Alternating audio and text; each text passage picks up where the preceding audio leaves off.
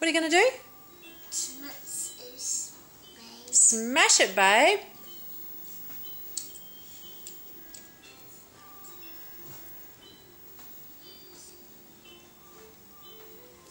Smash his babe.